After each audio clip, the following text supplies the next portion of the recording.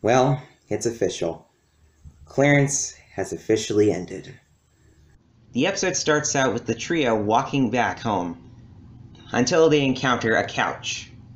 Jeff doesn't want any part of this, so Clarence and Sumo take possession of it.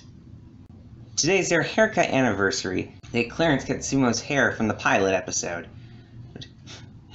Makes a nice callback. Anyway, Clarence takes clippers from her mom at her job, he finds out that Sumo's made new friends back at West Aberdale Elementary. Now, I don't want to reveal any other stuff, so I'll just tell you what I thought about it. I thought Sumo was going to keep all that hair and not cut it. But it didn't stay. Thank goodness. And for the rest of the episode, it was really moving and hilarious at the time.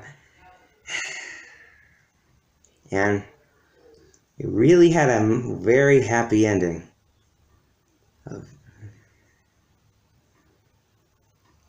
Rest in peace, Clarence.